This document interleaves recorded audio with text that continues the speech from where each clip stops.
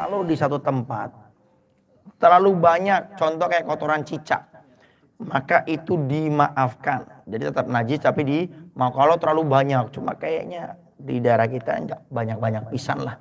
Artinya masih bisa untuk dibersihkan kecuali memang kita masuk ke musola itu semua di area musola itu ada kotoran cicak.